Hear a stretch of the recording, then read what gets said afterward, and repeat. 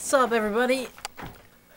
You ever seen those like ads for the cell phone companies where you like text this number and put your name and your boyfriend or girlfriend's name, and then it'll text you back if you're a perfect match.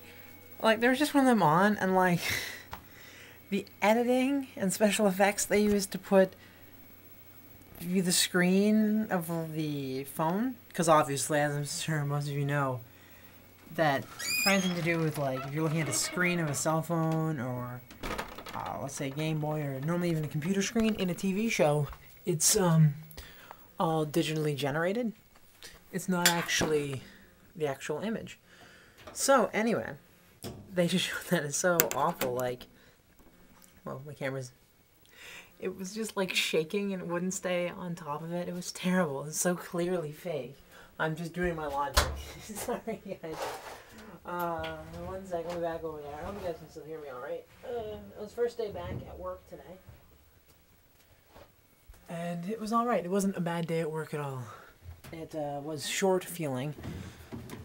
Probably because I haven't worked in forever.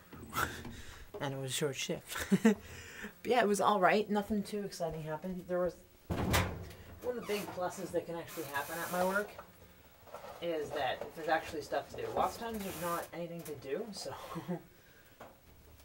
you get stuck being there with nothing to do, and it's just not entertaining, and the hours just crawl by. So it's not fun at all. But luckily today there was stuff to do. Uh, what else happened today? Not much. I think I know what I, I wasn't sure. Hold on, I'll, I'll talk to you guys FaceTime in a second. Yeah.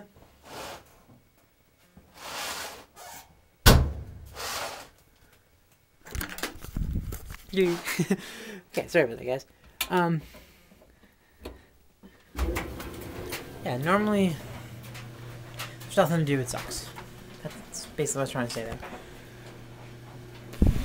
Oh, okay.